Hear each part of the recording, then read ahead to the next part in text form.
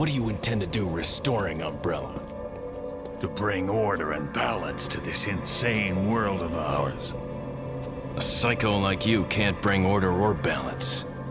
You don't seriously think a conservative mind can chart a new course for the world, do you?